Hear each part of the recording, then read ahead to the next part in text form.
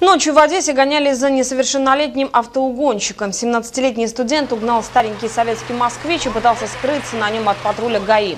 Погоня закончилась аварией на улице Черноморского казачества. Сам угонщик не пострадал, а вот машину разбил.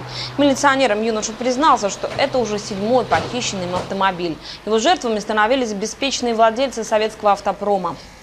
Деякі були відкриті, не закриті автомобілі, деякі просто вікна не до кінця закриті, їх вікна опустив і відчинив двері.